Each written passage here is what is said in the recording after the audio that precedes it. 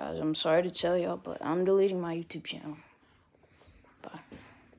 Sigh! No, I'm not deleting this YouTube channel anytime soon.